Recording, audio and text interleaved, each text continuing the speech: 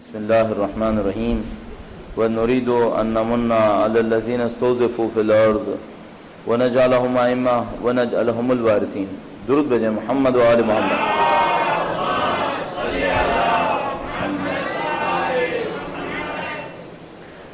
پروردگار عالم کے اسماء حسنہ میں سے ایک، اس کا عدل ہے اور خدا نے مطال کو عادل تعبیر کیا ہے۔ اہل بیت اطہار علیہ السلام کی تعلیمات کی روشنی میں اہل بیت کے ماننے والوں نے عدل کو اصول دین میں سے سمجھا ہے۔ اور یہ عدل خدا مطال کی ذات کے اندر اس حد تک قائم ہے۔ ہر صفت ہی اس کی ذات کے اندر مسلسل قائم ہے۔ کوئی صفت اس کے اوپر عارض نہیں ہوئی ہے۔ لیکن عدل کی صفت کا بیان یہ ہے کہ یہ عدل اس کی خلقت میں بھی ہے، عدل اس کی ربوبیت میں بھی ہے اور عدل اس کی، اس کے حکم کرنے میں بھی ہے۔ یعنی جب اس نے خلق کیا ہے تو اس کائنات کو عدل کے اوپر خلق کیا ہے، اس کے مقابلے میں ظلم ہے۔ کائنات کی خلقت میں کہیں ظلم نہیں ہوگا۔ اسی طریقے سے اس کی ربوبیت میں عدل ہے۔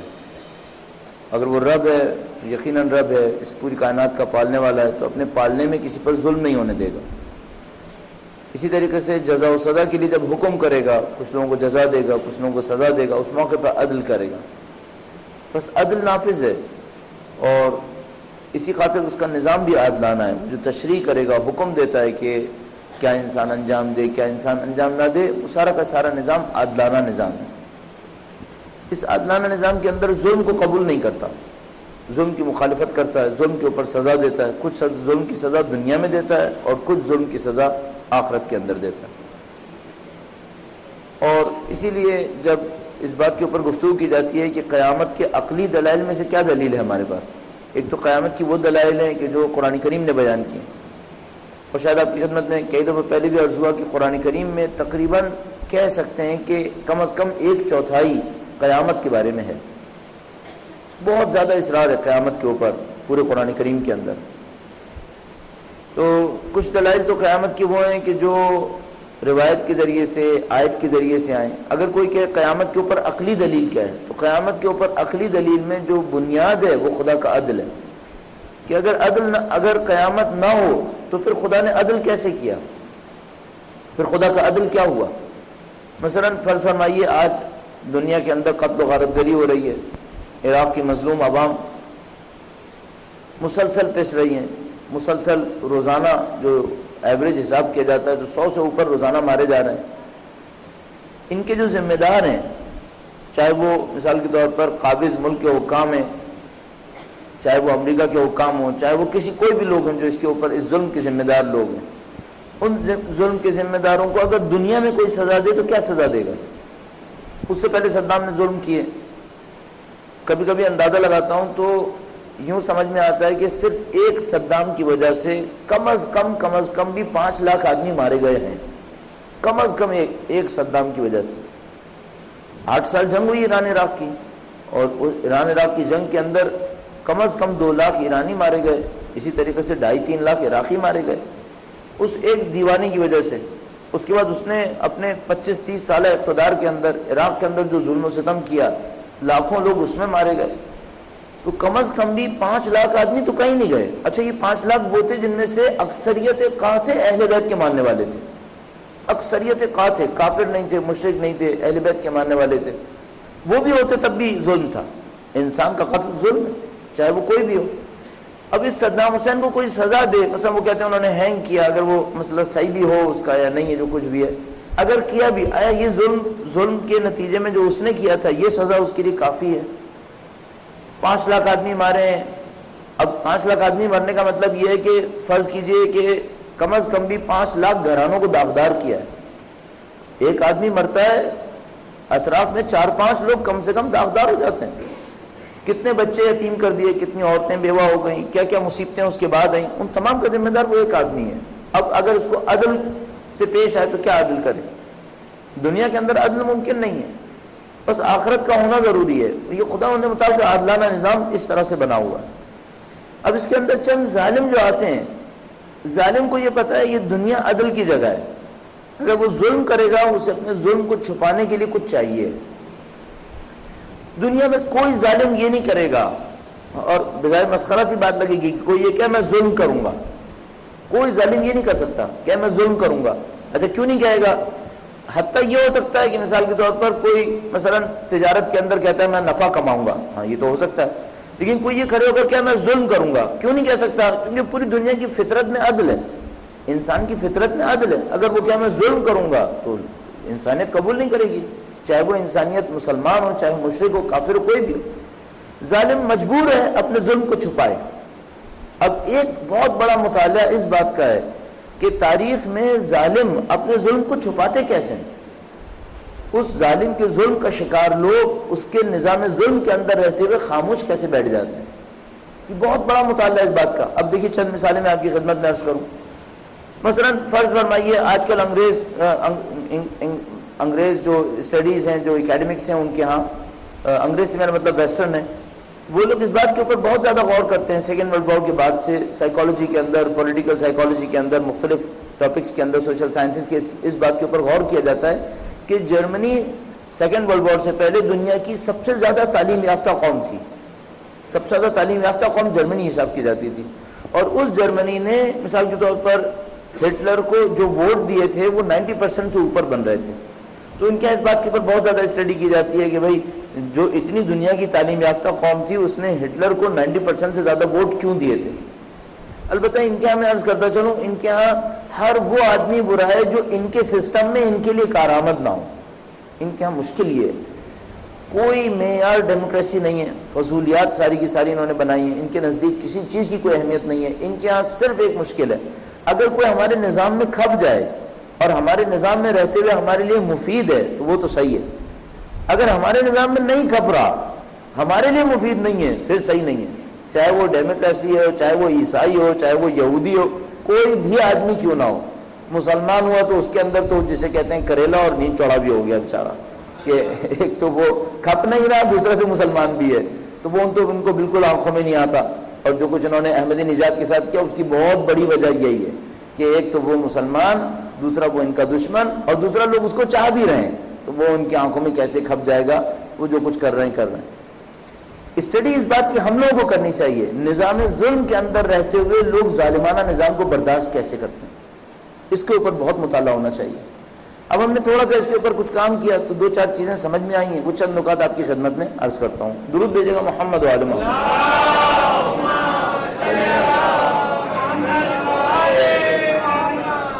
اچھا یہ کوئی پرانی بات نہیں ہو رہی۔ مثلا کوئی یہ نہ کہ مثلا فرعون کے زمانے میں لوگ کیسے برداشت کر گئے، اس سے ہمیں کیا سروکار نہیں، ہم اپنے زمانے کی بات کر رہے ہیں۔ ہمارے زمانے میں دنیا کا ظالمانہ ترین نظام کار فرما ہے، جس کو ہم سرمایہ داری کہتے ہیں۔ کیپٹلزم دنیا کا ظالمانہ ترین نظاموں میں سے ایک نظام ہے۔ اب دیکھنا یہ اس نظام ظلم کے اندر لوگ رہ رہے ہیں، پس رہے ہیں، مر رہے ہیں۔ ابھی بھی اس کے، اس نظام کے اندر رہ کیسے رہیں گے؟ کیوں رہ رہے ہیں؟ اچھا ظلم کی ہمیشہ ایک خاصیت ہے، اپنے آپ کو کسی چیز کے پیچھے چھپا لیتا ہے۔ میں نے عرض کیا، اگر وہ یہ کہنا میں ظالم ہوں، تو لوگ مانیں گے نہیں اسے۔ ہمیشہ کسی چیز کے پیچھے چھپاتا ہے۔ اب دیکھیے انداز کیا ہے۔ فرعون نے اپنے آپ، اپنے ظلم کو کس چیز کے پیچھے چھپایا ہوا تھا؟ دو چیزوں کے پیچھے۔ ایک تو خدائی کا دعویٰ مصنوعی دعویٰ۔ انا ربکم الاعلی، کہا، میں تمہارا خدا ہوں۔ اصل بے دین خدائی کا دعویٰ کرتا کیوں ہے؟ جس کو دین سے کوئی سروکار نہیں ہے، بے دین ہے۔ وہ خدا بننے کی کوشش کیوں کرتا ہے؟ وہ اس لیے خدا بنتا ہے، دیکھتا ہے اگر میں خدائی کا دعویٰ کر دوں تو میں ظلم بھی کروں گا، لوگ خاموش بیٹھے رہیں گے کہ خدا ظلم کر رہا ہے۔ وہ خدا کے اوپر کوئی الزام نہیں لگائیں گے۔ تو یہ خدائی کا مصنوعی دعویٰ کرتے ہیں تاکہ ظلم کرنے کے لیے ہمارے پاس جگہ بن جائے۔ اور پھر اپنی طاقت کو جو ہے وہ لے کر آگے بڑھیں۔ تو فرعون نے دو چیزوں کے پیچھے اپنے آپ کو چھپایا۔ ایک تو کہ ظلم کے پیچھے اپنے آپ کو چھپایا خدائی کے پیچھے، کہا کہ میں خدا ہوں۔ دوسرا، اگر آپ آیات کے اوپر غور کریں، جو اس کا اور حضرت مسیٰ علیہ السلام کے درمیان مکالمہ ہے، جو جگہ جگہ قرآن کریم میں آیا ہوا ہے، کئی جگہ پہ تذکرہ ہوا ہے، اسے غور کیجیے۔ اس کے دلائل کو دیکھیے۔ وہ دلائل کیا دیتا ہے؟ قرآن کریم میں اس کے دلائل ذکر کیے ہیں۔ جب وہ جادوگروں سے کہتا ہے کہ تم موسا سے لڑو، اس موقع پہ کیا کہتا ہے؟ جب حضرت موسا دربار میں کھڑے ہوئے، اس نے جواب دیا حضرت موسا کو، تو موقع پہ کیا کہا؟ قرآن کریم میں غور و فکر کریں، جگہ جگہ آپ کو نظر آئے گا، یہ قوم پرستی کی بنیاد کے اوپر مقابلہ کرنا چاہ رہا ہے۔ جگہ جگہ قوم پرستی دکھاتا ہے۔ مثلا، اور یہ حضرت موسیٰ علیہ السلام تنہا نہیں ہے، دوسرے انبیاء کے ساتھ بھی ایسا ہی ہوا ہے۔ سورہ انبیاء کو دیکھیے، جس کے اندر مختلف انبیاء کے واقعات لکھے ہیں۔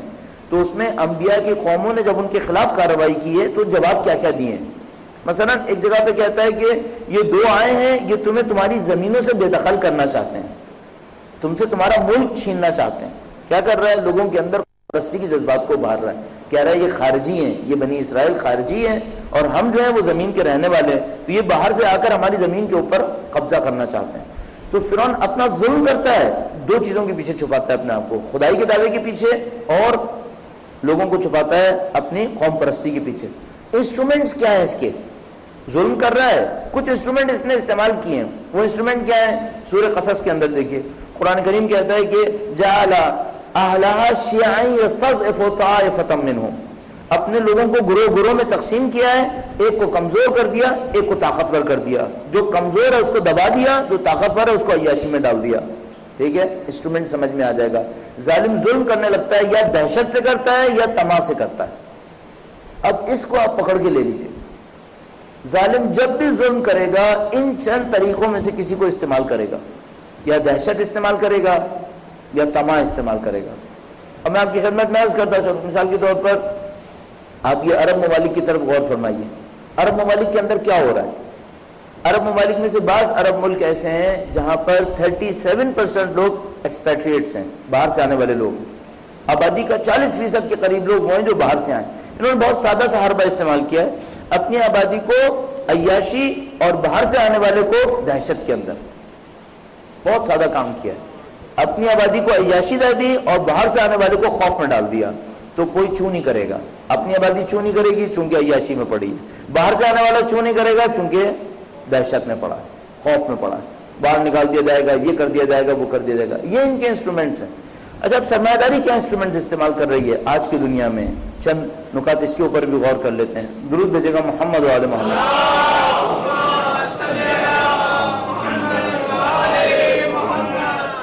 اچھا اب ایک بات کو آپ احساس کیجیے کیا ہم نے دین کے اندر رہتے ہوئے ان موضوعات پہ غور کیا ہوا ہے؟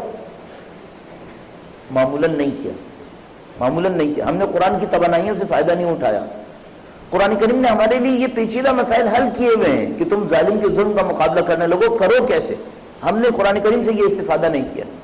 ہم نے قرآن کریم سے سمجھا ہے اس میں سادہ سادہ اخلاقی نصیحتیں ہیں۔ نہیں، ان سادہ اخلاقی نصیحتوں کے پیچھے خدا نے بہت کچھ بیان کیا ہے۔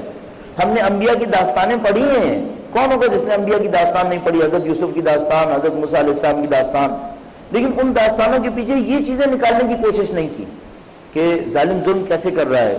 ظلم کا مقابلہ کرنے کے لیے حضرت موسیٰ علیہ السلام نے کون سا طریقہ کار استعمال کیا؟ یہ کام ہم نے نہیں کیا۔ نتیجہ ہمارے اوپر ظلم بڑھتا جا رہا ہے اور ہمیں سمجھ میں نہیں آ رہا قرآن اس معاملے میں ہماری نصرت کیسے کرے۔ گا دیکھتے قرآن نے نصرت کرنی ہے ہماری۔ قرآن نے ہمیں طریقہ کار سمجھانا۔ مولا نے فرمایا تھا، جب تمہارے اوپر تاریکیاں چھا جائیں فتنوں کی، تو قرآن کریم کے سفینے سے نجات حاصل کرو۔ نہج بلاغا میں لکھا ہوا ہے کہ بھئی جب تمہارے اوپر مصیبتیں اتنی چھا جائیں، تاریکیوں کی طرح کچھ میں کچھ سمجھ میں نہیں آ رہا ہے، تو قرآن کریم نے، قرآن کریم کو سفینے نجات کے طور پر استعمال کرو، اس کے سفینے سے نجات حاصل کرو۔ اب ہمیں دیکھنا پڑے گا۔ اب مثال کے طور پر آج کی سرمایہ داری نے کیا انسٹرومنٹ استعمال کیے؟ آج کی سرمایہ داری ظلم ہے۔ اور نیٹ ظلم یعنی کاش ابھی ایک اچھا موقع آئے گا، ہمارے یوتھ کی جو کلاس ہوگی، اس کے اندر ہم نے ٹاپک اس دفعہ کیپٹلزم لیا ہے۔ چار لیکچر اس کے اوپر دیں گے انشاءاللہ۔ تو اس کے اندر ایکسپلین کریں گے کہ اس کے انسٹرومنٹس اچھے طریقے سے ایکسپلین کر پائیں گے۔ یہاں پہ زیادہ موقع نہیں، صرف چند جملہ درس کرتا چلو سرمایہ داری کا طریقہ کار کیا ہے؟ سرمایہ داری انسانوں کو پہلا جو مشکل میں ڈالتی ہے، وہ ان کو اہداف سے محروم کر دیتی ہے۔ کوئی اعلیٰ ہدف ان کے سامنے سے باقی نہیں چھوڑتی۔ سرمایہ داری کی بنیاد ہے مادہ پرستی کے اوپر۔ سرمایہ داری چلتی ہو اس ماحول کے اندر جہاں مادہ پرستی ہو۔ اگر ایک معاشرے کے اندر مکمل مادہ پرستی نہ ہو، اس کے اندر سرمایہ داری اچھی نہیں چلے گی۔ شہید باقر صد نے اقتصادنا کے اندر لکھا ہے کہ ہمارے معاشروں کے اندر نہ اسلام چل پا رہا ہے، نہ نہ سرمایہ داری چل پا رہی ہے۔ کیوں ایسا ہو رہا ہے؟ کہا کہ ہماری جڑیں اسلام مسلمان ہونے کی وجہ سے مانویت کے اندر ہے۔ اور جو نظام ہم نے اپنے لیے انتخاب کیا وہ سرمایہ داری جو مادہ پرستی کے اوپر مبنی ہے۔ اب نہ ہم سو فیصد مانویت پر ہیں، چونکہ نظام سرمایہ داری نہ سو فیصد مادہ پرست ہیں چونکہ اندر سے جڑیں اسلام میں لگی ہوئی ہیں۔ لہذا نہ یہاں چل پا رہے ہیں، نہ وہاں چل پا رہے ہیں۔ اور وہ مادہ پرستی کے اندر رہتے ہوئے بالکل کامیاب ہو گئے ظاہری طور پر، یورپینز اور امریکن۔ چونکہ ان کا نظام مادہ پرست تھا اور جو جو بنیاد تھی وہ بھی مادہ پرستی تھی۔ سرمایہ داری چلتی ہے مادہ پرستی کے اندر۔ تو سرمایہ داری کی پہلی کوشش یہ ہوتی ہے، اس علاقے کے اندر مادہ پرستی پھیلائے۔ مادہ پرستی پھیلانے کا کیا مطلب ہوتا ہے؟ تمام ان حقائق کا انکار کر دے جن کا تعلق مادے سے نہیں ہے۔ مادہ پرستی کسے کہتے ہیں ہم لوگ؟ مادہ پرستی صرف یہ نہیں ہے کہ آپ کو دولت پسند ہے۔ یہ بھی مادہ پرستی ہے، لیکن یہ مادہ پرستی کی چھوٹی سی شکل ہے۔ مادہ پرستی کی بنیاد یہ ہوتی ہے کہ جو بھی مادہ نہیں ہے، اس کا، اس کے بارے میں دعویٰ کر دیا جائے کہ یہ ہے ہی نہیں، ختم ہو گیا۔ اب مادہ پرستی کا اصلی مطلب کیا ہوگا؟ مادہ پرستی کا اصلی مطلب یہ خدا کا انکار۔ کیوں؟ خدا مادہ نہیں ہے، اس لیے نہیں ہے۔ روح کا انکار۔ چونکہ روح مادہ نہیں ہے، زیادہ نہیں ہے۔ قیامت کا انکار۔ چونکہ مادی دنیا سے تعلق نہیں رکھتی، ایک اور دنیا سے تعلق رکھتی ہے، اس لیے قیامت کا انکار کر دیا۔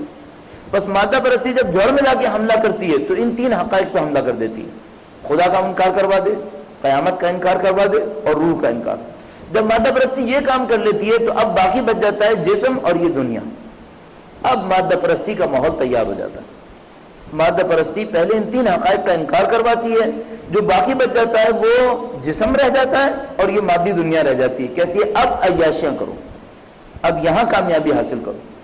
بس کامیابی کا وہ جو خدائی تصور ہے، ذالک الفضل الکبیر، وہ سب ختم۔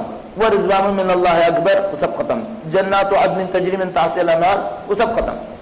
کامیابی کا سارا تصور رہ گیا بدن اور مادی دنیا۔ بس۔ اب اس کے اندر کہتا ہے کامیابی حاصل کرو۔ اچھا اب اس میں کامیابی کیا حاصل کرے وہی بدن ہے اور کیا اب اس میں کامیابی لے مادی دنیا ساٹھ سال کی اس میں کیا کامیابی لیں؟ کہنا کامیابی یہی عیاشی کرو۔ جتنی عیاشی کر سکتے ہو عیاشی کرو۔ اچھا اب جب عیاشی کرنے جائے تو عیاشی کے ساتھ ایک اور چیز بھی اسے ملے گی، احترام۔ کسی کو عیاشی نہ بھی چاہیے ہو، احترام تو چاہیے نا۔ مادہ پرس نظام اس کو بے احترام کر دے گا۔ ذلیل کر دے گا اپنی دانش میں جس کے پاس مادیت نہ ہو، جس کے پاس مادی وسائل نہ ہو۔ تو اب مادہ پرستی سرمایہ داری آتی ہے مادہ پرستی کے اندر۔ اور مادہ پرستی دو کام کر دیتی ہے۔ ایک تو تمام غیر مادی اشیاء کا انکار کر دیتی ہے، تمام اعلیٰ اہداف کا انکار کر دیتی ہے، سب کچھ اس دنیا کے اندر محدود رہ جاتا ہے۔ اس کے بعد کہتے ہیں، اب تمہیں عیاشی کرنی ہے، اب تمہیں پیسہ چاہیے۔ اچھا آپ نے کہا مجھے عیاشی نہیں کرنی۔ کہتے نہیں، عیاشی کرنی ہو نہیں کرنی ہو احترام چاہیے، نہیں چاہیے۔ پیسہ نہیں ہوگا، احترام بھی نہیں ہوگا۔ ختم ہو گیا معاملہ۔ اب آپ کو یا عیاشی چاہیے یا احترام تو کم سے کم چاہیے۔ دونوں صورتوں میں آپ کو ایک چیز چاہیے، آپ کو پیسہ چاہیے۔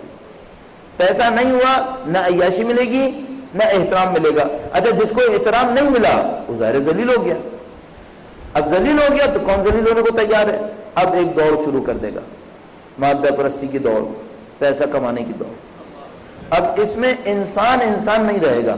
انسان کے سامنے ایک لاکھ انسان آئیں گے، انہیں کچل دے گا کہ اگر تم لوگ جاننا میں جاؤ، میں ہوں، ختم۔ یہ مادہ پرستی۔ یہ مادہ پرستی کا نظام لوگوں کو بے وقوف کیسے بنا لیتا ہے؟ دو حربے استعمال کرتا ہے، وہی دو حربے جو شیطان نے استعمال کیے، وہی دو حربے جو فرعون نے استعمال کیے۔ ایک لالچ دیتا ہے، ایک خوف دیتا ہے۔ یا لالچ دے گا یا خوف دے گا۔ لالچ کس بات کی؟ یہی عیاشی کی لالچ کہ اگر تم پیسے کماؤ، پھر دیکھو دنیا تمہارے سامنے کھل جائے گی۔ جو چاہو گے ہو جائے گا، پیسے کماؤ۔ لگا دیا لائن کے اوپر۔ اب پوری زندگی، پوری توانائیاں، پورا کیریئر سب کچھ ایک چیز کے اوپر گھومے گا۔ پیسہ کمانا۔ بس۔ اور کچھ نہیں چاہیے۔ بچوں میں سے کون سا بچہ زیادہ پسند ہے جو زیادہ کمائے گا؟ خاندان میں بزرگ کون ہے جو زیادہ کمائے گا؟ معاشرے میں عزت کس کو ملے گی جو زیادہ کمائے گا؟ بس سب کا سب اس کے اوپر۔ اس کو کہتے ہیں مادہ پرستی۔ اچھا میں کہہ رہا ہوں ابھی بھی ظلم ہے۔ اس ظلم کو کوئی کیوں نہیں سمجھ رہا ہے؟ آنکھوں پہ پٹی ڈالتا ہے فحشا کے ذریعے سے۔ پھنسا دیتا ہے۔ انسان اندھا کیوں ہو جاتا ہے؟ اس بات کو کیوں نہیں سوچتے؟ اندھا کیوں ہو جاتا ہے؟ اندھا ہوتا ہے فحشا کے ذریعے سے۔ اگر یہ فحشا میں غرق نہ ہو تو اندھا نہیں ہوگا۔ اور عجیب کمال یہ کیا ہے سرمایہ داری نے اور نظام مادہ پرستی نے کہ فحشا کو اتنی عمومیت دے دی کہ کسی کی آنکھیں اپنی جگہ پہ باقی نہ رہے اتنا پھیلا دیا، اتنا پھیلا دیا کہ کوئی دیکھنے کے قابل نہ رہے۔ اچھا اگر کوئی فاشا کے دام سے بچ بھی گیا، بہت سارے دام پھیلائے نے۔ ایک دام تو میں نے بتایا، رقابت کا، مادی رقابت کا۔ تیرے پاس کتنا ہے؟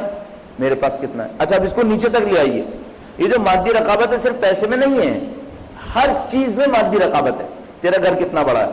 میرا گھر کتنا بڑا ہے۔ تیرے گھر میں کیا آسائش ہیں؟ میرے گھر میں کتنی آسائش ہیں؟ تو نے کتنا مہنگا کپڑا پہنا ہے؟ میں نے کتنا مہنگا۔ تو نے کون سا فیشن پہنا ہے؟ میں نے کون سا فیشن پہنا ہے؟ اب یہ رقابتیں اتنی ہوں گی، اتنی ہوں گی، زندگی کا ہدف ہی رقابت بن جائے گا۔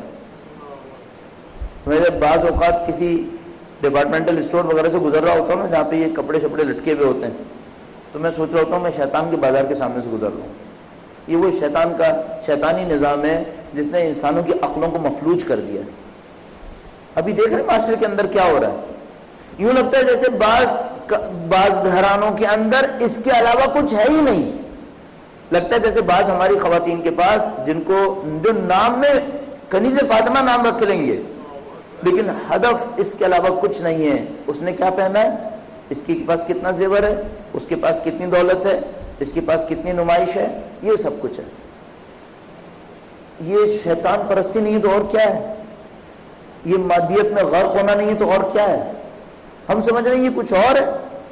یہی تو وہ دجالیت ہے۔ اب یہ میرے منہ سے نکل گیا۔ معتقد ہوں کہ دجال آدمی کا نام نہیں ہے، فکر کا نام ہے۔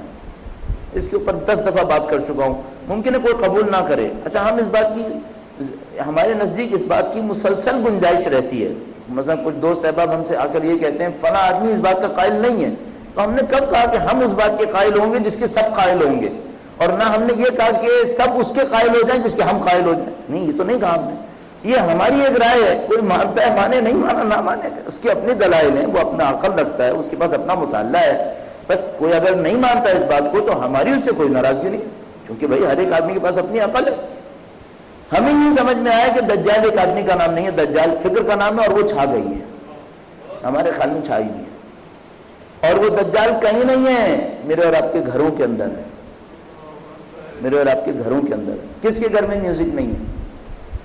کس کے گھر میں مادہ پرستی نہیں ہے؟ اچھا آپ دیکھیے، کیا نشانیاں دجال کے گھر کے اندر ہونے کی؟ چند نشانیاں آپ کی خدمت میں عرض کرتا ہوں۔ درود بھیجے گا محمد وعد محمد۔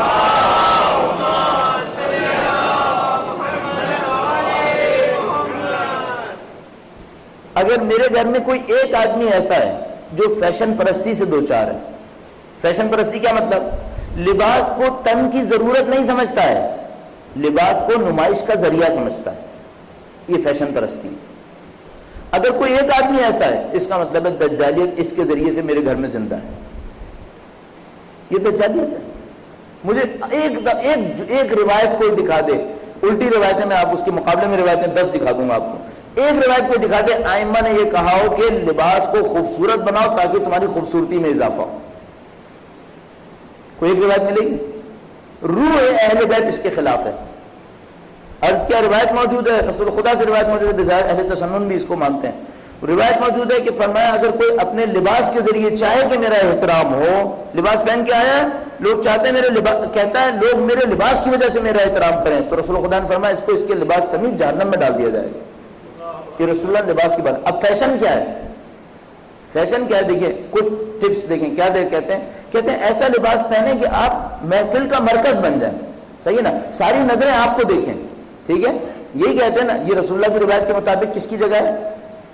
جہنم میں جانے والی کی جگہ ہے۔ فیشن کی بنیاد جس فلسفے پر ہے، وہ جہنم کا راستہ ہے۔ اگر میرے گھر میں ایک آدمی ایسا ہے جو فیشن پرست ہے، اس کا مطلب ہے اس کے ذریعے دجال میرے گھر میں گھسا ہوا ہے۔ میرے گھر میں ایک آدمی ایسا ہے جو فاشا کا عادی ہے۔ فاشا دیکھتا ہے، اس کے اوپر کوئی اثر نہیں پڑتا۔ اس کا مطلب ہے دجال میرے گھر میں آ گیا۔ اس کا مطلب ہے دجال میرے، اس آدمی کے ذریعے میرے گھر میں زندہ ہے۔ اور آدمی کا مسئلہ نہیں ہے، اس کی صفات کا معاملہ ہے۔ اس کی عادتوں کا معاملہ ہے۔ تو مجھے اور آپ کو بہت ہوشیار ہونا پڑے گا۔ ہم لوگ کہاں پھنس گئے ہیں؟ یقین فرمائیے، دوسرے لوگ کچھ کر رہے ہوتے نا، وہ بھی غلط تھا۔ اہل بیت کے ماننے والے کر رہے ہیں۔ یہ تو بہت ہی غلط ہے۔ کس سے سیکھا ہے ہم نے؟ یہ فیشن پرستیاں، یہ مادی رقابتیں۔ بہت خدا میں شرمندہ ہوا، ایک دوست نے مجھے بتایا، کچھ دن پہلے کہیں پہ گیا ہوا تھا تو وہاں بتایا کہ کسی نے کوئی شادی کی اور اہل بیت کا ماننے والا تھا۔ کیا لگا اس نے شادی کے اوپر اتنا خرچہ کیا جس کی فیگرز میں اگر بتاؤں تو کروڑ سے اوپر بن رہی ہے؟ تو میں اتنی شرمندگی کا احساس کرنے لگا کہ اہل بیت جب اس آدمی کو دیکھتے ہوں گے تو کیا کہتے ہوں گے؟ یہ ہمارا ماننے والا ہے۔ اس کو شرم نہیں آئی، اس کو حیا نہیں آئی۔ عراق کے اندر مظلوم عورتیں، جیسے کہ مثال کے طور پر خبروں میں پتہ چل رہا ہے کہ بیوہ اور یتیم بچے جو ہیں، وہ غلط کاموں کے اندر پڑے ہوئے اپنی زندگی گزارنے کے لیے۔ اور یہ کروڑ کروڑ روپے شادی کے اوپر خرچ کر رہا شرم نہیں آئی، اس کو حیا نہیں آئی۔ جن یتیموں اور غریبوں کے کٹے ہوئے پیٹ کے اوپر یہ اپنی شادی کا جشن منا رہا ہے، یہ سوال نہیں کریں گے قیامت کے دن اس سے۔ ہم تو بھوکے مر گئے اب تو اپنی یشی میں لگا یہ سوال نہیں ہوں گے۔ کیوں نہیں ہوں گے؟ دھوکہ دے رہے ہیں ہم اگر اپنے آپ کو یہ کہہ رہے ہیں کہ نہیں ہوں گے۔ نہیں ہوں گے، سو فیصد ہوں گے۔ لباس کا کام ہے تن کو ڈھانپے۔ اتنا ہو کہ آدمی اس سے بے احترامی کا شکار نہ ہو۔ بے احترامی کیا مطلب؟ کوئی دیکھ کر کہ گندا لباس پہنا ہوا ہے۔ رسول اللہ کے پاس ایک آدمی آیا، اس کے لباس گندا تھا، اس میں سے بدبو آ رہی تھی۔ رسول اللہ کے پاس بیٹھا، رسول اللہ خدا نے کہا، تم سے ایسا نہیں ہوا کہ تم اپنے کپڑے دھو لیتے، نہا لیتے تاکہ بدبو نہیں آتی؟ یہ میں آ ایسا نہیں ہونا چاہیے۔ صاف ستھرا لباس پہنو تن کو ڈھانپے، سطر کا کام کرے۔ اس کے ذریعے عزت مت کماؤ۔ یہ عزتیں کمانے کے لیے نہیں ہے یہ ساتر ہے بس۔ اس کی اس سے زیادہ ویلیو نہیں ہے۔ بس ختم ہو گیا معاملہ۔ اگر اس کو نمود کا ذریعہ بنا رہے ہو، راستہ جہنم کا راستہ۔ راستہ جہنم کا راستہ۔ بلا وجہ میں بس ممکن ہے کوئی یہ کہ مجھے اچھی، اچھے کپڑے پہن کر خوشی ہوتی ہے۔ کس بات کی خوشی ہوتی ہے؟ کیوں خوشی ہوتی ہے؟ مگر تم نے نہیں سنا کہ افضل العمل الحب للہ والبغض للہ۔ بہترین عمل یہ محبت اللہ کی خاطر ہو، دشمنی بھی اللہ کی خاطر ہو۔ کہ اللہ کی خاطر لباس اچھا لگا ہے تمہیں کس خدا کے دین میں لباس کو اتنی اہمیت ملی ہے؟ ہم نے دی اتنی اہمیت۔ جب اب ہم اتنی اہمیت دے رہے ہیں، میں نے کل عرض کیا تھا، خدا کا حکم ٹوٹنا صرف حکم ٹوٹنا نہیں ہوتا، اس کے نتائج لاتا ہے پھر نتائج آ گئے نا۔ نتائج میں دیکھیے ہم کہاں پہنچے ہوئے ہیں۔ کیوں معاشرے کولیپس کر رہے ہیں؟ کیوں معاشرے ختم ہو رہے ہیں؟ اسی لیے برباد ہو رہے ہیں۔ معیار غلط ہو گئے۔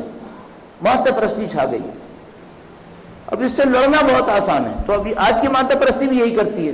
ظلم کرتی ہے۔ ظلم کرنے کے بعد لوگوں کی آنکھوں پر فاشا کی پٹی چڑھا دیتی ہے۔ فاشا کی پٹی میں پہلے رہتے ہیں۔ سوچنے سمجھنے کی صلاحیت ختم ہو جاتی ہے۔ اچھا اگر کسی کے اندر کچھ سوچنے سمجھنے کی صلاحیت رہ بھی گئی ہو تو اسے مادی رقابت میں لگا دیں گے۔ وہاں سوچے سمجھے۔ ساری ذہنی توانائیاں استعمال کرے گا۔ فلاں کو کیسے چیٹ کرنا ہے؟ فلاں جگہ پہ پیسہ کیسے کمانا ہے؟ فلاں جگہ پہ اپنی اپنی بات کو کیسے ثابت کرنا ہے؟ فلاں کو کیسے زیر کر کے دکھانا ہے؟ سارا ذہن اس میں لگا دے گا۔ اب اس سے پوچھے، وہ جو اعلیٰ انسانی اہداف تھے، ان کا کیا ہوا؟ خدا کی راہ میں بڑھنا تھا، اس کا کیا ہوا؟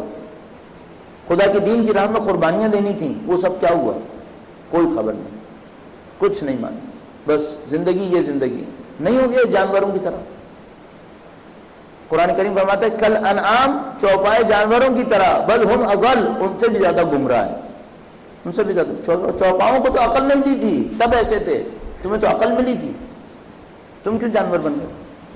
یہ سب ہمارے سامنے ہو رہا ہے۔ بس ان کے پاس انسٹرومنٹ بہت ہیں۔ موسیقی کیا ہے؟ دیکھیے یہ کیوں انہوں نے انسٹرومنٹس بنائے ہوئے سارے؟ یہ سارے انسٹرومنٹ اس لیے بنائے ہوئے کوئی کسی کی عقل کام نہ ہو۔ کوئی اپنی صلاحیتوں کو استعمال نہ کر پائے۔ سب کو ایسا الجھا کے رکھا ہوا ہے، ایسا الجھا کے رکھا ہوا ہے کہ کولو کے بیل کی طرح پچاس پچاس سال بس اس دائرے کے اندر گھومتے رہیں گے، گھومتے گھومتے مر جائیں گے اور اپنی عقل اٹھا کے کبھی نہیں سوچیں گے یہاں ہو کیا رہا ہے۔ قرآن ہمارے پاس ہے۔ دوسرے کولو کے بیل بنے، ہم کیوں بن گئے؟ ہمارے پاس تو روشنی دینے والا قرآن موجود تھا۔ ہم نے غور نہیں کیا۔ ہمارے ساتھ بس یہ مصیبت۔ ہم نے اس پہ غور ہی نہیں کیا۔ سوچتے، سمجھتے تو خدا ہمیں بصیرت دینا ہے۔ کون ہم سے زیادہ بابصیرت ہوتا اگر ہم سوچتے سمجھتے؟ دور دیجیے گا محمد والے محمد۔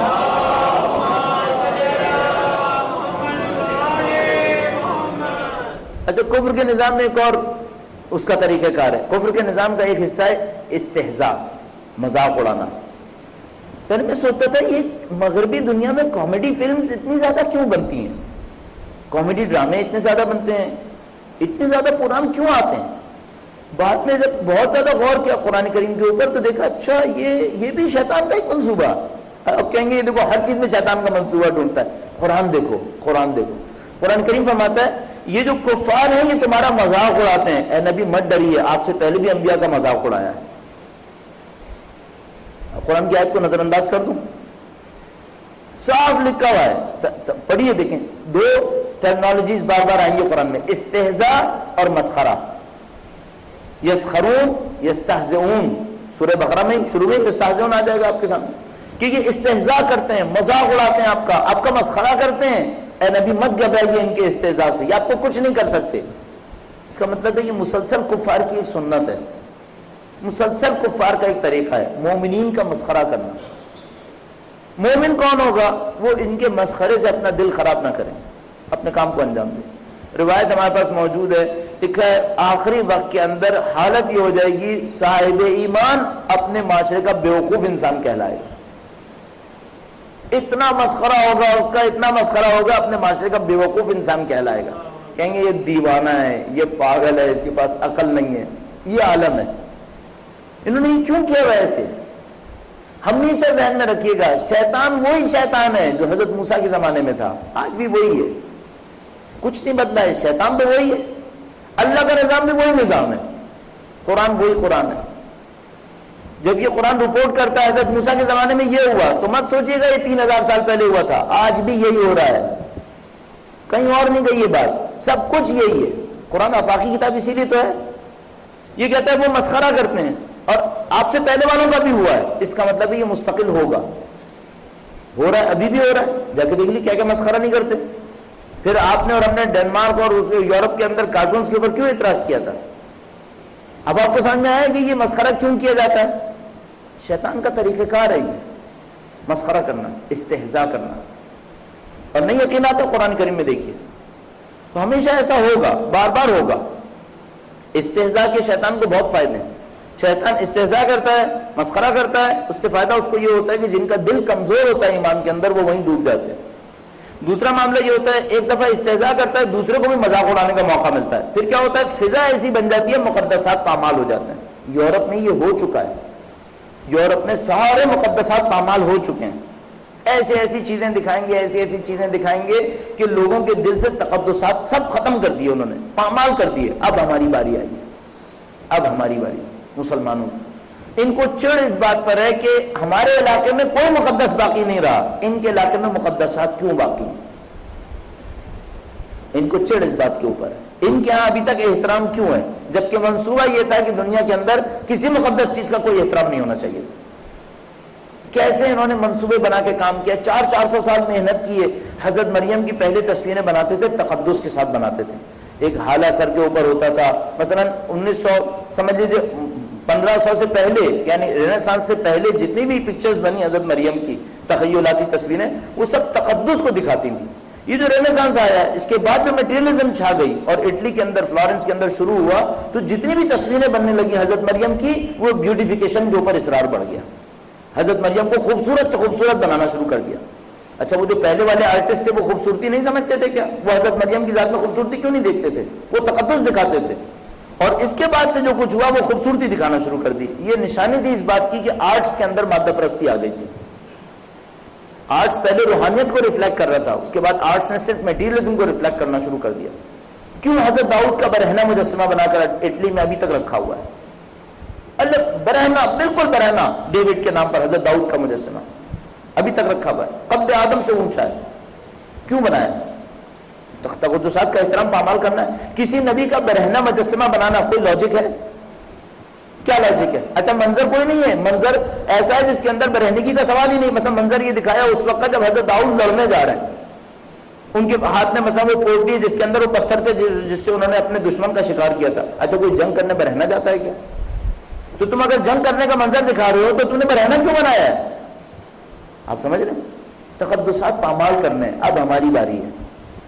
اب ہم پھنسے بہت سوچنا پڑے گا آپ کو ہمیں۔ ہم بہت اس اعتبار سے سخت وقت میں آئے۔ اور میں خاص کر اپنی بہنوں سے کہوں گا، اب بہت ہوشیار رہیں۔ فیشن پرستی کا حملہ ان کے اوپر ہوگا، سب سے پہلے۔ مغرب میں یہی ہوا ہے۔ مغرب کی چار سو پانچ سو سالہ تاریخ ہر آدمی کو پڑھنی چاہیے، جس کو چاہیے کہ عقل حاصل کرے کہ یہ ہوا وہاں پہ کیا جو اب یہاں پہ ہو رہا ہے۔ انہوں نے پہلے خواتین کے اوپر حملہ کیا فاشا کے ذریعے سے فیشن کے ذریعے سے جابز دلوا کر ان کے اوپر حملہ کیا۔ میں عورتوں کی جاب کی مخالفت نہیں کرنا چاہ رہا، لیکن انہوں نے طریقہ کار یہ رکھا کہ انہوں نے دیکھا کہ نہیں، اس عورت کے ہاتھ میں جب تک پیسہ نہیں آئے گا، اس وقت تک جو عورت بازار میں نہیں آئے گی۔ تو عورت کو پیسہ دے کے پہلے بازار میں لائے، اس پیسے کو انہوں نے فیشن کے اوپر خرچ کروایا، اس کے کپڑوں پہ خرچ کروایا، پورے معاشرے کو اس طرح سے اپنی زد میں لے لیا۔ اب یہ بہت کریٹیکل ایشو ہے۔ اس کے اوپر بہت تفصیل سے بات ہونی چاہیے کہ مثلا یہ معاملہ کہاں سے شروع ہوگا۔ لیکن بہرحال کم از کم اتنا کیا جا سکتا ہے کہ ہماری بہنیں فیشن پرستی سے اپنے آپ کو نکالیں۔ یہ راستہ صحیح راستہ نہیں۔ اور ٹیلی ویژن کے سلسلے میں میں نے آپ کی خدمت میں عرض کیا۔ اہداف انبیاء کے خلاف ہے۔ اہداف اہل بیت علیہ السلام کے ہر چیز کے خلاف ہے۔ لہذا بہت ہوشیاری دکھانی پڑے گی۔ اور کوئی یہ کہنا کہ اگر اس طرح کریں تو زندگی کا مزہ کیا ہے؟ یہ یہ پھر شیطان زین الحم الشیطان و اعمال شیطان نے ان کے اعمال کو خوبصورت کر کے بنا دیا۔ شیطان بہت مکار ہے، ہم نہیں سمجھ رہے۔ ورنہ خدا کیوں بار بار کہتا ہے ان لکم ادو مبین؟ اس سے ڈرو، یہ تمہارا کھلا اشکار دشمن ہے۔ خدا کیوں قرآن کریم میں بار بار کہتا ہے، شیطان سے ڈرو، شیطان سے ڈرو۔ لا تعبد الشیطان، شیطان کی بندگی نہ کرنا۔ کیوں کہتا ہے اتنا؟ ہم تو سمجھ رہے ہیں شیطان بھی فارغ ہو کے کہیں اور چلا گیا ہے۔ آج کل کچھ اور زمانہ ہے۔ نہیں بھائی، گھروں میں ہے۔ ہم نہیں سمجھ رہے۔ شیطان کو بھی سیریس نہیں سمجھ رہے۔ استحصا کرتے ہیں۔ ایک اور انسٹرومنٹ ہے، الزام لگانا۔ قرآن کریم اٹھا کر دیکھ لیجیے جگہ جگہ لکھا ہے، اے نبی، آپ پر یہ الزام لگایا، آپ پہ یہ الزام لگایا۔ کیوں لکھا قرآن میں؟ قرآن قرآن کریم اتنی مختصر کتاب ہے، ایک جلد کے لیے، ایک جلد کے اندر نہیں معلوم کتنے ہزار سال کے لیے۔ چودہ سو سال تو ہو گئے نہیں معلوم کتنے سال کے لیے ایک جلد کے اندر۔ اتنا زبردست سلیکشن چاہیے کہ ایک جلد کے اندر آ جائے، ہزاروں سال کے لیے۔ پھر وہ کسی چیز کو بار بار لکھے۔ اس کا مطلب یہ چیز بہت امپورٹنٹ ہونی چاہیے۔ ورنہ ایک جلد کتاب ہے، ہزار سال کے لیے چلانی ہے۔ ایک ایک لفظ امپورٹنٹ ہے اس کا۔ اس کے بعد بار بار لکھتا ہے، نبی، آپ پر یہ الزام لگایا، آپ پہ یہ الزام لگایا۔ اچھا نبی بھی الزام لگے، چودہ سو سال ہو گئے، میں کیا کروں؟ نہیں، مسئلہ ابھی بھی جاری ہے۔ الزام تو ابھی بھی لگیں گے۔ کون ہے جو الزام کی زد سے بچے گا؟ نبی اکرم پہ کیا کیا الزام لگائے تھے؟ قرآن کریم میں جو لکھے صرف وہ بتا کہتے ہیں، یہ نبی نعوذ باللہ شاعر ہے۔ کبھی کہا، یہ نبی نعوذ باللہ دیوانہ ہے۔ کبھی کہا یہ نبی نعوذ باللہ اپنے رشتہ داروں کی حمایت کرتا ہے، کبھی کہا یہ صرف طاقت حاصل کرنا چاہتا ہے۔ یہ سارے الزامات نبی پر لگائے۔ کبھی کہتے تھے اپنی من پسند باتیں کرتا رہتا ہے۔ یہ سب باتیں نبی پہ، ان کا ان کا ایک طریقہ کار یہ ہے۔ الزام لگاؤ۔ اتنا الزام لگاؤ، اتنا الزام لگاؤ، آدمی کو سمجھ میں نہ آئے کہ دین ہے کیا چیز۔ ختم۔ جہلی دین بنانا۔ بہت سارے طریقے ہیں۔ ہمیں قرآن پہ بہت غور کرنا پڑے گا۔ اور قرآن کریم پہ غور کرتے رہیں گے، ہمیں بصیرت ملتی رہے گی کہ ہماری زندگی میں طریقہ کار کیا ہونا چاہیے۔ ام یقولون افترا علی اللہ کذبا، فإن يشاء الله يختم على قلبك ويمحو الله الباطل ويحق الحق بكلماته انه عليم بذات الصدور۔ اچھا یہ سب باتیں سن لینا۔ کوئی یہ نہ سوچے، اب تو معاملہ ہاتھ سے نکل گیا۔ نہیں نہیں، یہی قرآن جو تمام چیزیں بیان کرتا ہے، کہتا ہے جا الحق وزاق الباطل، ان الباطل کانا زہوقا۔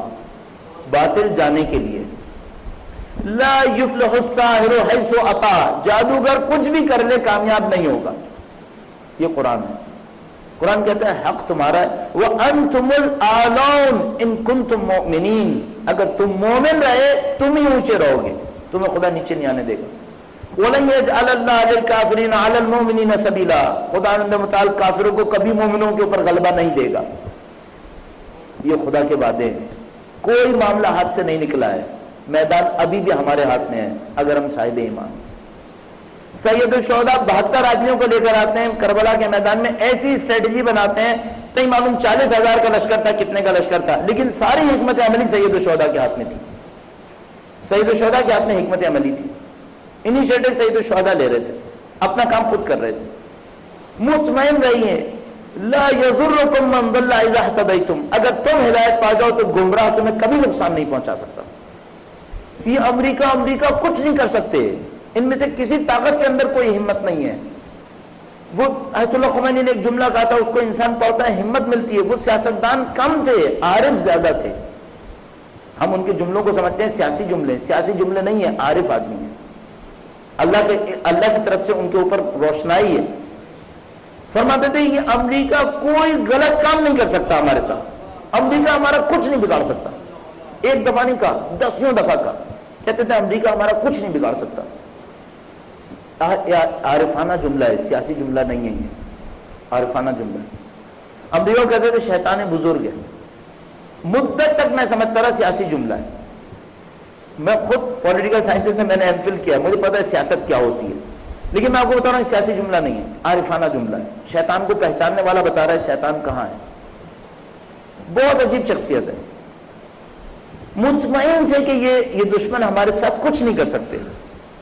ایک واقعے کے اندر اس طرح سے ہوا کہ ایران کے جو وزیر انفارمیشن، بلکہ کہنا چاہیے جو ان کی ایک ایجنسی بہرحال، اس کے منسٹر تھے، وہ آئے ان کے پاس اور کہا کہ اتنے دشمن ہمارے خلاف سازشیں کر رہے ہیں۔ تو ان کو انفارمیشن دے رہے تھے کہ دشمن ہمارے خلاف کیا کیا سازشیں کر رہے ہیں۔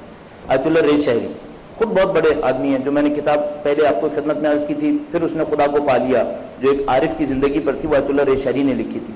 تو یہ کہنے کہ میں آیت اللہ خمینی کے پاس بیٹھا تھا ان کو اطلاع دے رہا تھا کہ دشمن ہمارے خلاف کیا کیا سازشیں کر رہے ہیں۔ کہنے کہ وہ میں نے جب بہت بتایا تو انہوں نے دیکھا میرے لہجوں میں مایوسی سی آ رہی ہے کہ مثلا دشمن اتنی سازشیں کر رہے ہیں، ہمارا کیا ہوگا، ہمارا کیا ہوگا۔ کہنے کہ وہ جب انہوں نے بہت سن لیا نا ایک دفعہ میری طرف دیکھ کر کہنے گے رے شہری مطمئن رہو، امام کے آنے تک کی حکومت رہے گی۔ یہ دشمن کچھ نہیں بگاڑ سکتا۔ کہنے گے رے شہری، ہم اپنی حکومت کا پرچم اپنے امام کے ہاتھ میں دیں گے۔ کوئی کچھ نہیں بگاڑ سکتا۔ کوئی خدا کے لیے اٹھے کوئی کیسے بگاڑ دے گا؟ کوئی خدا کے لیے اٹھتا۔ ہے خدا نے مطلب مطالعہ اصحاب کاف کی داستان سناتا کہتا ہے وہ جوان تھے، چند لوگ تھے، وہ وہ خدا نے مطالعہ کے اوپر ایمان لایا، اس کے لیے اٹھے کوئی ان کا بگاڑ سکا؟ کچھ نہیں۔ چند لوگ بھی اٹھیں گے خدا کی خاطر، خدا ان کو اکیلا نہیں چھوڑے گا، مطمئن رہیے۔ وہ زندہ ہوں یا مارے جائیں، اس سے کوئی غرض نہیں۔ ان کا پیغام کبھی نہیں ختم ہوگا۔ پیغام ہمیشہ زندہ رہے۔ گا اس بات کو ہمیشہ ذہن میں رکھیے گا۔ کسی کے مرنے سے کوئی نقصان نہیں ہوتا۔ آج یہ حزب اللہ نے پچھلے سال کامیابی حاصل کی، اسرائیل کے مقابلے میں چونتیس دن مقابلت دکھائی۔ کفر تک معتقد ہو گیا کہ ہاں مقابلت دکھائی۔ کل سب شہید ہو جائیں، کوئی نقصان نہیں ہوگا۔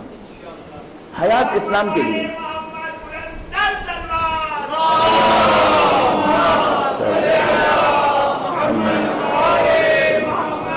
اس سلسلے کی آخری بات کہہ دوں، ان العزت للہ ولرسول وللمؤمنین عزت اللہ کے لیے، اس کے رسول کے لیے اور مومنوں کے لیے، اور کسی کے لیے نہیں۔ عزت آپ کے لیے اگر صاحب ایمان بس، دنیا سے مت گھبرائیں۔ اس دنیا نے کچھ نہیں بگاڑنا آپ کا، سب کچھ آپ کے پاس ہے۔ کیا وہ کہتے ہیں کہ اس نے خدا پر جھوٹ باندھا ہے؟ رسول خدا پہ تہمت لگاتے تھے۔ رسول خدا پہ کہتے تھے، انہوں نے خدا پہ جھوٹ باندھا ہے، جتنی کتابیں آپ بتا رہے ہیں اللہ نے نہیں بھیجی پرانا دستور، پرانا طریقہ کار۔ وہ کہتے ہیں کہ اس نے خدا پہ جھوٹ باندھا۔ فَإِن يَشَاءِ اللَّهِ يَخْتِمَ عَلَى قَلْبِكَ یعنی خدا اتنا طاقتور ہے، اگر چاہے تو دل کے اوپر مہر لگا دے۔ کوئی کچھ کر سکتا ہے کیا؟ مثلا خدا نے متعلق کہنا چاہ رہے تم یہ کہہ رہے ہو، نبی نے جھوٹ باندھا ہے۔ اگر نبی نے جھوٹ کہا ہوتا اور ہم چاہتے کہ روک لیں، تو کیا ہم نہیں روک سکتے؟ تھے ختم ہو جاتا۔ خدا نے مطالعہ آسمانوں کے اندر موجود، اس کی قدرت، وہ کسی کو روکنا چاہے تو روک نہیں سکتا کیا؟ جب وہ فرعون کو ذلیل کرتا ہے تو کس طرح ذلیل کر دیتا ہے؟ فرعون کو غرق کرتا ہے تو کس طرح سے غرق کر دیتا ہے؟ وَيَمْحُ اللَّهُ الْبَاطِلِ وَيُحِقُّ الْحَقَّ بِكَلِمَاتِهِ۔ کچھ آیتیں امید دلانے والی آیتیں ہوتی ہیں۔ قانون قانون یہ۔ اور خدا باطل کو نابود کر دیتا ہے اور حق کو اپنے حکم سے قائم کر دیتا ہے۔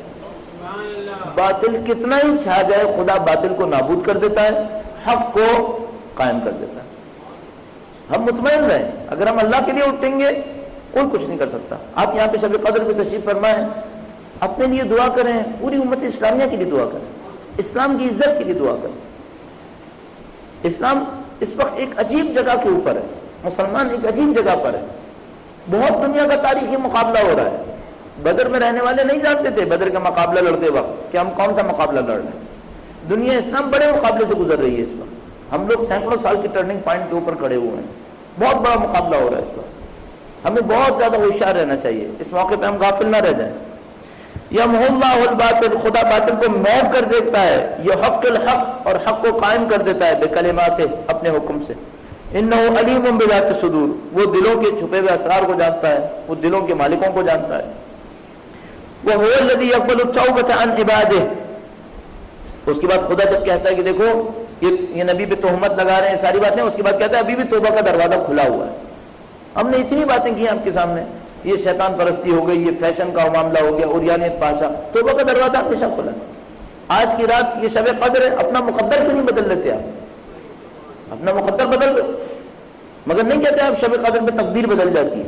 اپنی تقدیر بدل دو۔ خدا سے مانگنے خدا ہے اپنی زند... ہماری زندگی کو صرف اپنے راستے پہ چلا دے۔ جو تو چاہے اس پہ چلا دے۔ کبھی خدا سے مانگتا تھا، خدا میں کیا بنوں؟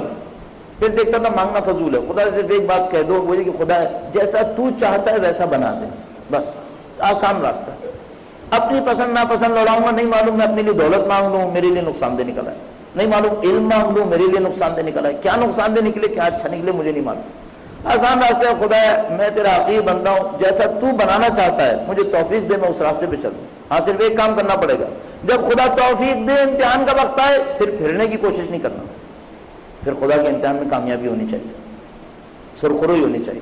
جو بات سمجھ میں آ جاؤ، آ جائے اس پہ عمل کرنا سادہ ترین قانون آپ کی زندگی کا یہ ہونا چاہیے۔ مولانا نے فرمایا، زمانہ ناشکر گزار زمانہ ہے۔ ناشکر گزار زمانے کی خاصیت کیا ہے؟ جو بات جانتے ہیں، اس پر عمل نہیں کرتے۔ آپ شکر گزار بندے بن جائیے۔ جو بات جانتے ہیں، اس پر عمل کر دیجیے۔ پھر دیکھیے خدا کتنا بڑھاتا ہے آپ کے لیے۔ وہ خدا ہی ہے جو بندوں سے توبہ کو قبول کر لیتا ہے۔ وہ یافو عن السیئات اور گناہ معاف کر دیتا ہے۔ وہ یعلم ما تفعلون۔ اور بہت اچھی طرح جانتا ہے تم کیا انجام دے رہے ہو۔ ایک آدمی گناہ کرتا ہے جرت میں کرتا ہے۔ خدا کے سامنے جرت دکھاتا ہے، کہتا ہے، میں گناہ کروں گا۔ ایک دفعہ ایک انسان ایک کمزوری میں کرتا ہے۔ کہتا ہے، یہ گناہ ہو رہا ہے۔ پھنس گیا ہوں میں، نفس کے ہاتھوں شکست کھا رہا ہوں۔ میں اس کو مضبوط بنا لیجیے گناہ کو اپنی زندگی سے نکال دیجیے ان عبادتوں کو مفید بنائیے جو آپ کریں گے آج رات۔ اس کو مفید بنائیے۔ ایسا نہ وقت گزر جائے بس۔ اس وقت کو مفید بنائیں۔ بہت اچھی آیت آج کے لیے ہے یہ۔ وہ یستجیب الدین عامن وعمل الصالحات۔ اور جو لوگ ایمان لائے اور عمل صالح انجام دیے، خدا ان کی دعاؤں کو قبول کر لیتا ہے۔ عمل صالح کی بنیاد پر اپنی دعاؤں کو قبول کروا سکتے ہیں۔ مثلا آج شب قدر میں آپ دعا مانگنے بیٹھے ہیں، آپ چاہتے ہیں کہ خدا چاہ، خدا آپ کی دعائیں قبول کر لے، خدا سے اچھے عمل کا وعدہ کر لیجیے کہ خدا اپنی زندگی میں یہ تبدیلی لے کر آؤں گا، یہ اچھا عمل کروں گا۔ اچھے عمل کا وعدہ کیجیے تاکہ خدا نمتال اس کے صدقے میں آپ کی دعاؤں کو انشاءاللہ قبول فرمائے۔ وہ یزید من فضل اللہ ایمان لانے والے، عمل صالح انجام دینے والوں کی دعاؤں کو قبول کرتا ہے، وہ یزید من فضل اور ان پر اپنے فضل سے اضافہ بھی کر دیتا ہے۔ کتنا اچھا ہے۔ انسان دعا مانگتا ہے، احمقانہ دعائیں مانگ لیتا ہے۔ کبھی ایسی دعائیں مانگ لیتا ہے جو اگر پوری ہو جائیں مصیبت میں پھنس جاتا۔ خدا اپنے فضل سے اس کے اوپر اضافہ کر دیتا۔ میں اپنی مثال میں اگر عرض کروں، تو میں جب مثلا بچپنے میں تھا، تو میرے خاندان کے بہت سارے لوگ تھے جو آرم فورسز کے اندر تھے۔ تو میرا ماحول ایسا تھا کہ مجھے آرم فورسز میں جانے کا بہت شوق تھا۔ تو پتہ نہیں کیوں مطلب بچپن میں مجھے کیپٹن کہتے تھے سارے لوگ۔ یعنی میں شاید کریزی تھا اس معاملے کے اندر۔ تو جب میں نے انٹر کا ایگزام دیا تو میں نے پی ایف کو جوائن کرنے کے لیے اس کا ایک ٹیسٹ دیا۔ اور میں خدا سے گڑگڑا گڑگڑا بھی کہتا تھا، خدا مجھے ایئر فورس میں کروا دے کسی طریقے سے۔ اپنی بیوقوفی میں۔ ٹیسٹ دے کر آیا، اتنی دعائیں مانگتا رہا، آ کے فیل ہو گیا۔ عمر پر سوچنے لگا خدا ہے یہ تو نے کیا کر دیا؟ میں نے اتنا اپنے لیے پلان کیا تھا۔ تو مجھے بچپن سے کیپٹن کہتے تھے، تو نے مجھے ناکام کر دیا۔ اب دیکھتا ہوں، کہتا ہوں، میں کتنا پاگل تھا۔ اب میں فوج میں چلا جاتا تو میں کیا ہو جاتا؟ اب میں دیکھتا ہوں تو دیکھتا ہوں خدا تو نے کتنا لطف کیا۔ سب کچھ میرے ذہن سے نکال دیا۔ ابھی ابھی کتنی آسانی سے لگ رہا ہے کہ وہ بہت اچھا ہو گیا۔ صحیح ہے؟ اس وقت بہت برا لگ رہا تھا۔ اس وقت بہت پتہ نہیں مرنے کے بعد کتنی چیزیں اس وقت اچھی لگیں گی۔ مرنے کے بعد بہت ساری چیزیں جو اس وقت ناکامیاں لگ رہی تھیں، اس وقت بہت اچھی لگیں گی کہ اچھا ہوا، اس وقت ناکام ہو گئے۔ کامیاب ہو جاتے، نہیں معلوم کیا کر لیتے۔ دیکھیے آگے والی آیت پتہ نہیں اتفاقاً جوڑ رہی ہے۔ وہ یزید والکافرون لهم عذاب شدید کافروں کے لیے تو سخت عذاب ہے، بس یہ آئے کریمہ ایک اور پڑھوں آپ کے لیے. ولو بسط اللہ الرزق لعباده لبغوا في الارض ولكن ينزل بقدر ما يشاء. انه بعباده خبير بصير. خدا نے مطالبہ فرمایا ہے اگر ہم رزق کو لوگوں کے لیے پھیلا دیتے، جو جتنا چاہے سمیٹ لے. تو کیا ہوتا؟ لبغوا في الارض یہ زمین کے اوپر فتنہ و فساد مچا دیتے. اگر رزق لوگوں کے ہاتھ میں چلا جاتا تو کیا کرتے؟ اللہ اکبر۔ آج تو میں نے عرض کیا تھا، بیس فیصد وہ لوگ ہیں جو تین وقت کے کھانے کو ترس رہے ہیں۔ اگر یہ رزق لوگوں کے ہاتھ میں چلا جاتا تو یہ تو اسی فیصد کو مار دیتے، بھوکا رکھ رکھ کے، چھوڑتے نہیں کچھ۔ تو عجیب نظام ہے خدا کا۔ ابھی تو خدا نے بہت ساری پابندیاں لگائی ہیں، بہت بندشیں لگائی ہیں، بہت کچھ کیا ہے۔ تب ان انسانوں کے بدبختیوں کا یہ عالم ہے کہ اپنے آپ کو فرون سے کم نہیں سمجھ رہے۔ اگر ہو دیتا کہ سب کچھ ان کے ہاتھ میں ہوتا، پھر کیا کرتے؟ نہیں معلوم کتنے لوگوں کو بھوکا مار دیتے، نہیں معلوم کیا کیا حرکتیں کرتے۔ ابھی تو ستم ہو رہا ہے نا، ستم دو طرف سے ہو رہا ہے۔ ایک ظالم ہے اور ایک کافر ہے۔ ظالم کون ہے؟ ظالم وہ ہے جس کے پاس کسی کا حق ہے ہاتھ میں، ادا نہیں کر رہا۔ مولا المومنین نے جملہ ارشاد فرمایا تھا۔ ایک دفعہ میں لاہور میں ایک جگہ پہ گیا۔ تو ایک صاحب تھے، وہ لاہور کے بہت مشہور، بہت بڑے سرمایہ دار یعنی تاجر۔ وہ کھڑے ہو کے مجھ سے کہنے لگے، مولا کائنات نے کہا کہ اگر تم دولت کا کہیں پہ انبار دیکھو تو سمجھ لو کسی کا حق مارا گیا ہے۔ کیا میں نے کسی کا حق مارا ہے؟ خود سمجھ گیا تھا کہ داستان خراب ہے۔ خود سمجھ گیا تھا کہ معاملہ کہیں خراب ہو گیا ہے۔ امیر ممین کا کال غلط ہو سکتا ہے۔ تو گڑبڑ ہو گئی نا پھر۔ کچھ تو ہوا ہے اس کا مطلب۔ بہت سوچنا پڑے گا۔ بہت زیادہ سوچنا پڑے گا۔ تو یہ ہوا کہ مثلا اگر اس وقت کیا عالم ہے اس کو دیکھیے اور خدا کیا چاہتا ہے اس کو دیکھیے۔ تو بہت دور لگے گا۔ مولا امین کا یہ فرمان ہمارے ذہنوں کے اوپر ایک ہتھوڑا ہے۔ بجتا رہے گا۔ بجتا رہے گا، یہ سناتا رہے گا۔ دیکھو کسی کا حق ہاتھ سے نہ نکل جائے۔ انسان دو گروہ میں، یا ظالم ہے وہ جس کے ہاتھ میں حق ہے، کسی کا حق دیتا نہیں، یا کافر ہے۔ کافر کیا مطلب؟ اللہ کا شکر بجا لاتا تو خدا دے دیتا بد خدا کا شکر بجا نہیں لاتا۔ کفران نعمت کرتا ہے۔ کفران نعمت کرتا ہے، خدا لے لیتا ہے۔ انسان یا ظالم ہے، ان الانسان لظلوم کفار۔ ایک کفران نعمت اور بھی ہے۔ اللہ نے صلاحیت دی ہے، استعمال نہیں کرتا۔ دونوں باتیں شہید صدر نے اقتصاد میں لکھی ہیں۔ شہید صدر پائے کے آدمیوں میں سے۔ شہید صدر بہت بلند آدمی تھے۔ ان الانسان لظلوم کفار۔ انسان ظالم ہے، یہ ظلم ہے اس کا۔ حق ہے، نہیں دیتا۔ کفار ہے، کفران نعمت کرتا ہے۔ کفران نعمت دو طرح سے کرتا ہے۔ یا صلاحیت ہے، استعمال نہیں کرتا۔ یا خدا نے دیا تھا تو شکران نعمت نہیں کیا، غلط جگہ پہ خرچ کیا۔ کفران نعمت کیا، خدا نے چھین لیا۔ وَلَوْ بَسَتَ اللَّهُ رِزْقَ لِعِبَادِهِ لَبَغَوْا فِي الْأَرْضِ وَلَكِنْ يُنَزِّلُ بِقَدْرٍ مَا يَشَاءُ۔ خدا جتنا چاہتا ہے، اتنا نازل کر دیتا ہے۔ انہم بعبادہ خبیر بصیر۔ وہ اپنے بندوں کو جانتا بھی ہے اور دیکھتا بھی ہے۔ خبیر ہے، جانتا ہے۔ سب کچھ جانتا ہے۔ بصیر ہے، دیکھنے والا۔ کبھی کوئی اس کی نظروں سے چھپا نہیں رہے گا۔ وَهُوَ الَّذِي يُنَزِّلُ الْغَيْثِ مِن بَعْدِ مَا اور جب بندے نا امید ہو جاتے ہیں، مایوس ہو جاتے ہیں، تو وہ بارش برسا دیتا ہے۔ وَيَنشُرُ رَحْمَتَهُ، وَهُوَ الْوَلِيُّ الْحَمِيدُ۔ وہ اپنی رحمت کا دامن پھیلا دیتا ہے اور وہ خدا سرپرست ہے، قابل تعریف ہے۔ یہ آیت پہ بہت غور کیجیے گا۔ اور جب سب نا امید ہو جاتے ہیں، تو وہ اپنی بارش برسا دیتا ہے۔ اور وہی تو ہے جو مفید بارش کو اس وقت نازل کرتا ہے، جب سب مایوس ہو چکے ہوتے ہیں۔ اس میں بڑی خوبصورت تعبیر ہے۔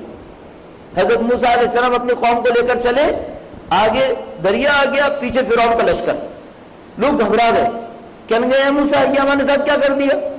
تم نے فرعون سے مقابلہ کرنے کے لیے کچھ رکھا ہے؟ حضرت موسیٰ نے کہا، کچھ بھی نہیں، تم ہی تو ہو میرے ساتھ، اور کون ہے؟ کہا، اب کیا ہوگا؟ آگے دریا ہے، پیچھے فرعون آ گیا۔ بس، حضرت موسیٰ مطمئن تھے۔ وہ کہتے، خدا ہمارے ساتھ ہے، خدا کچھ کرے گا۔ بس اس ایک موسیٰ کی روح کے اندر جو خدا کی توحید پر یقین ہے، وہ اپنا اثر دکھاتی ہے۔ ان کی لاٹھی کام کر رہی ہے۔